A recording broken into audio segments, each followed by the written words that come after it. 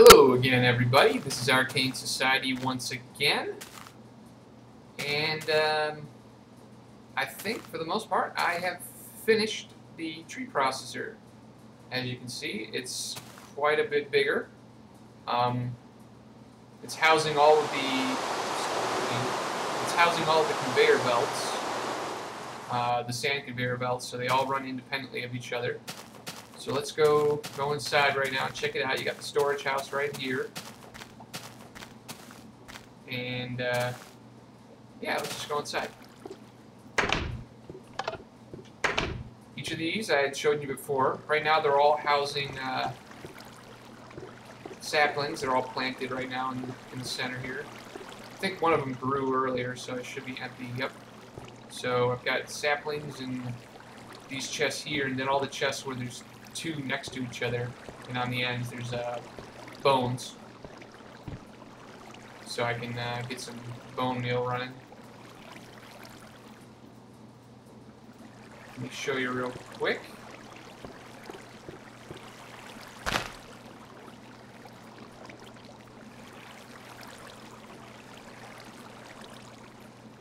Too many items is amazing for the right click creation. Okay, so make sure I got this all on. As you can see, it's got all the alarms and stuff from the, the first version, system power, water, current, and so on. Uh, shuts off all the water there, makes it flush with the wall too. So that works. And uh, I changed the engine as well, so now it's running on a uh, RS NOR latch with a timer switch. So you don't have to worry about any noisy pistons anymore when it's running, which is good. And uh, let me show you how it works now. I'm going to just basically spam bone meal on all of these and just let it run.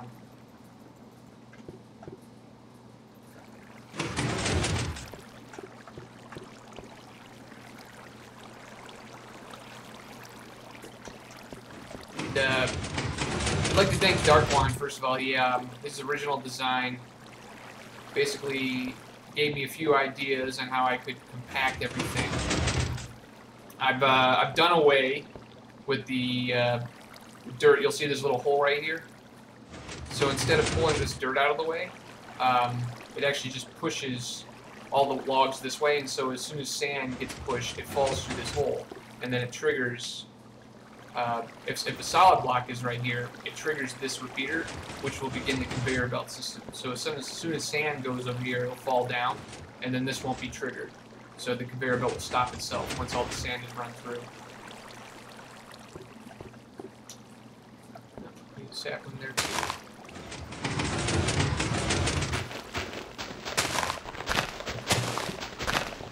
So now it's running all these, pushing them all down get on over here.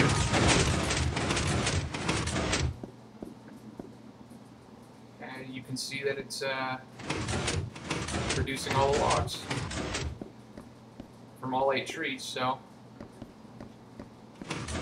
yeah, significantly faster when you're spamming eight trees at a time, if you ask me. And uh, everything else works the same way. You've got uh, the row updating, so it pushes it out to the side, and you got the entire floor moving it up once it's over. So I got the detector over here. And then I've got the max capacity alarm up here again. And uh, what I'm going to do is tweak this a bit so uh, we can actually hook it up to an auto shut-off once it reaches max capacity.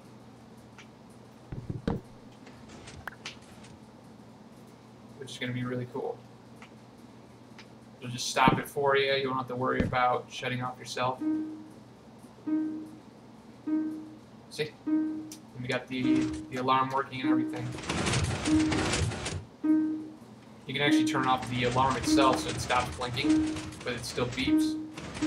Or you can turn off the audible alarm and then leave the max capacity on.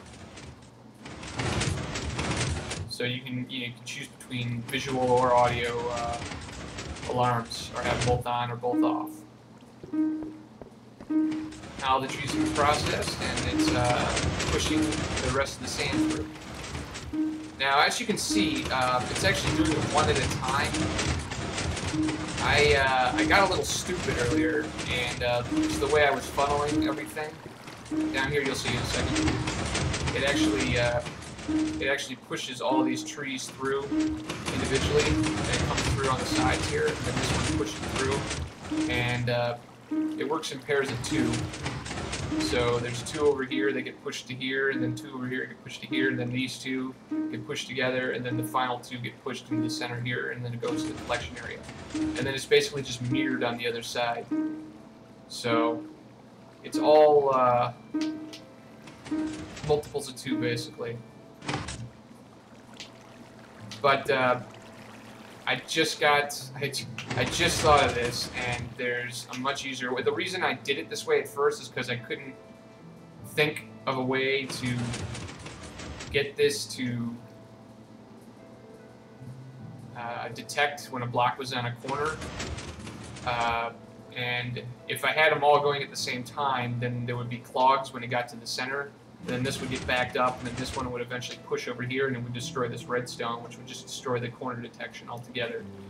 But I just I just had an idea, and uh, it's actually going to make things a lot easier for me. I'm just going to add a second piston, uh, sticky piston, that will so I can just detect horizontally, and it'll just pull it down, and then pull it, push it to the side, so it'll be a whole new row, and then I don't have to worry about it uh, being incorrect. Or uh, I don't have to worry about it running into redstone, so. Yeah, I just planted all eight trees and I got about 36 logs from that. And if we go back over there, you'll see the system's all ready to go again. And I can just plant more saplings and do some more bone meal spamming on it.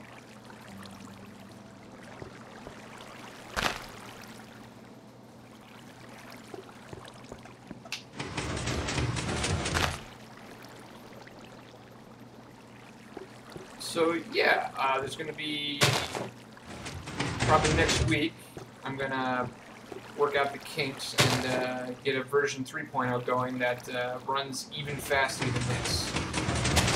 Because this is still way too slow for my taste. It's actually, I mean, it's great when you're planting trees and just letting them grow on their own. Because uh, I was actually standing around and watching it happen. It's pretty cool we got all the trees here again and uh, getting processed through. And uh, let me show you the conveyor belt system here. So like I said, it it uh, it uh, it'll get pushed over here, and see how there's a log here over this hole. If it was sand, it would fall through instead, and it'll come down here. Have these auto-triggered conveyor belts. Head all the way up, then do another conveyor belt, and another conveyor belt and then all the way at the top until it eventually gets pushed and it gets uh, launched by gravity. And this is another uh, uh, idea that Darkline had uh, displayed in his original design. It's actually very, it's an ingenious design, really. I mean, just it works based on gravity, so you just have 12 buffered up right here, 12 sand blocks all ready to go. And then um, this work, the sticky piston pulls him if it happens to be there, and he gets triggered uh, by that uh, by that uh, this redstone uh, repeater that it displayed earlier. And it launches it over here, and it goes all the way to the top, takes it up there, and then add activate that activates the uh, sticky piston. So if there's a uh, solid block there, this piston will be activated. If it's just a sand block, it uh, it actually here you'll see in just a second. It moves too fast because the sand passes by it and then falls almost instantly. So this piston opens and closes faster than this one can push it down. And so it keeps the sand there. And then this refills itself as uh, as the sand's emptying, emptying down the bottom. Pretty cool design. I, I have to give a lot of thanks to Dark Launch because he, he did inspire me a lot for this design. For the uh, just some of the fixes and not having to deal with uh, clogs at all. So there's no clogs anymore completely uh, clog-free, there's not going to be any bugs running with it, so you can just run it constantly and it'll uh, automatically fix itself. So, yeah.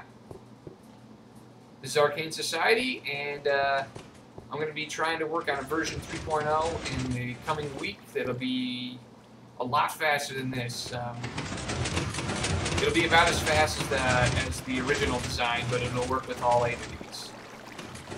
So look forward to it. Have a good day. Peace.